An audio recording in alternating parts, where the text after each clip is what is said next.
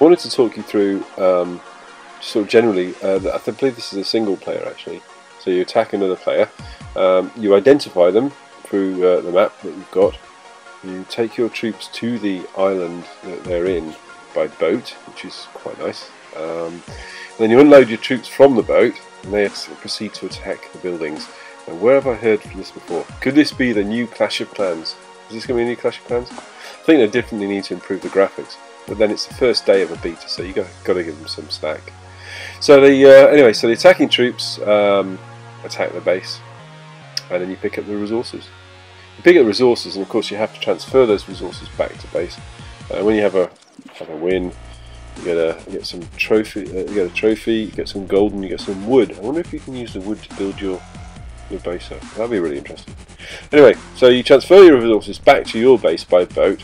Um, clearly a big water theme here involved, and then uh, you get to open up new parts of the map. It's really interesting. I'd love to see how it develops. If you happen to be using it in, in uh, Canada, let me know. Take care. Bye for now.